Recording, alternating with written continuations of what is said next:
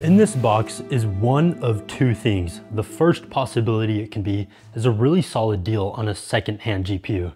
That's what I hope it is. The second option it can be is a scam and I lose about $250. Now, why do I think it was a scam? Well, it was bought on eBay and the very first thing that kind of caught my eye was the price. It was just a really good price. The second thing was the account. I have it pulled up right now. The user joined July 2nd, 2025, if you bought anything on eBay, buying from a brand new account is usually a sign of a scam. Let's uh, open it up and finally find out.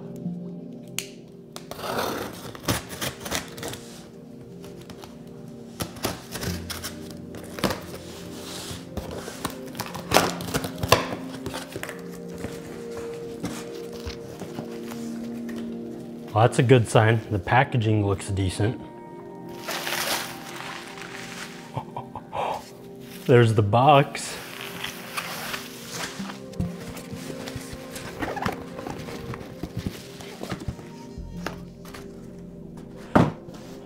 This thing is looking like it's legit, man.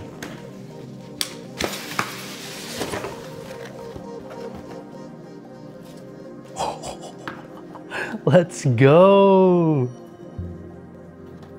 This is everything that was in the listing. You could see my face. I am pretty happy about this deal. We did not get scammed. Now it's still a possibility that it's broken, so let's uh, erase that possibility and see if it works.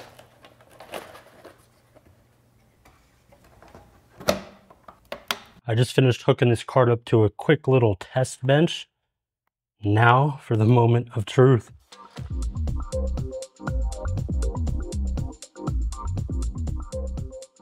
Okay, fans spin. RGB lights up. You can see the monitor right here, all the way in the back. we got a post. Do you see that? Come on, that's a post, baby. Let's go. Let's go.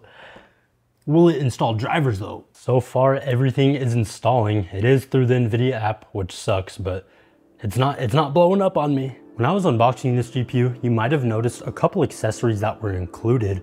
We have this 1X PCIe with USB-A, and that plugs into this X16 full-size PCIe slot. These are typically used for mining rigs. Some people will be afraid to buy a GPU that was used for crypto mining, but I would much rather buy it from a crypto miner than an actual miner, a kid who's 14 just playing Fortnite all day.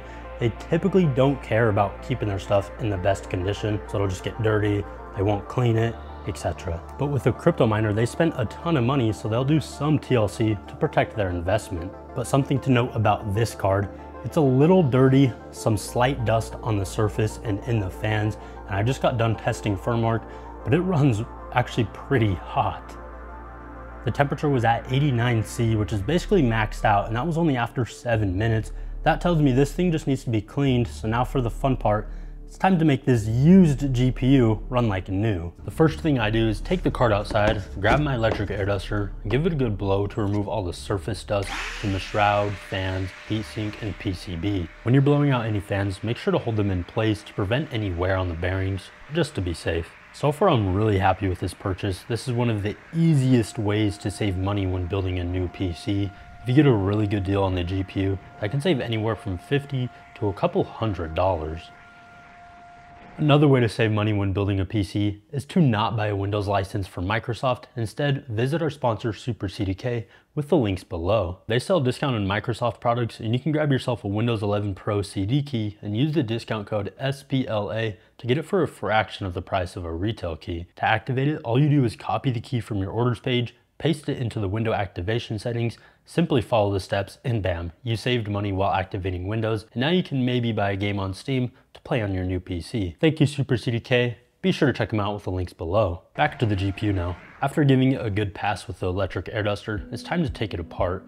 I like using this small electric screwdriver with different size bits. If you've never taken apart a GPU before, I recommend looking up your exact model on YouTube chances are there's a teardown guide. It's actually fairly easy. Just take your time when pulling the PCB apart so you don't rip any wires. I've done that before. Luckily, it was just an RGB cable, but still unfortunate. You can also take pictures before disassembling it so you have something to refer back to when it comes time to reassemble it.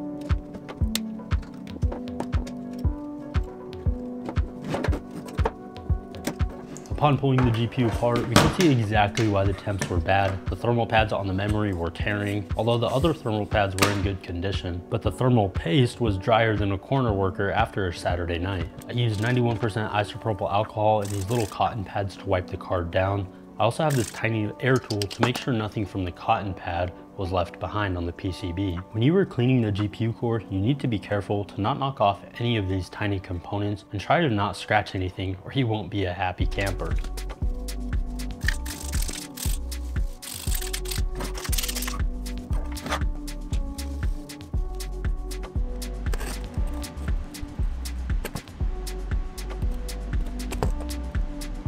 Reassembling the card back together, I gave it a final wipe down with some more alcohol. It booted right up on my test bench and after about 10 minutes in FurMark, the temp was still quite high. But keep in mind the 3080 Ti and actually all of the 30 series weren't that efficient and ran hotter. The temps improved ever so slightly, but still a little too hot. Also keep in mind that the GPU came with the BIOS switch set to the OC version. I switched it over to silent for this next part. A fix for the high temperatures is a simple undervolt. You can use a software like MSI Afterburner and Heaven Benchmark to test for stability. Basically what you're doing is making the card run at the same clock speeds but at a lower voltage. The goal is to lower both the power draw and temps without taking a hit to performance. In MSI Afterburner, you want to open up the curve editor, find the highest point on the voltage slash frequency curve, hold down control and you can move the whole line. Doing this changes the power curve of your card. Then you want to grab a lower voltage point around 775 volts and 825 is where you will see improvement. And then just drag that point to where you want the card running, click apply and keep doing this until you find the perfect balance between performance and temps. I like using Heaven Benchmark because it will crash if you apply an unstable undervolt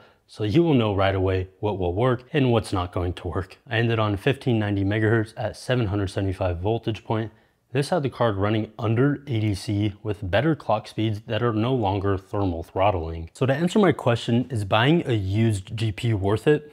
Hell to the yeah. I mean, look at it this way. I bought a modern-ish GPU with an NVENC encoder, great for streaming off of one PC or any creative work. It also has 12 gigabytes of VRAM and it was under $300. Now I did get a good deal, but there's no way you're getting this level of performance from a new GPU at this price. Buying used is hands down the best way to stretch your dollar. And if you haven't figured it out, I bought the RTX 3080 Ti.